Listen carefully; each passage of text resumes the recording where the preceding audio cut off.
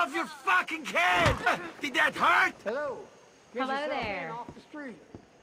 It's really fucking annoying. This place is worse than home. Damn this place. The last fucking thing I need.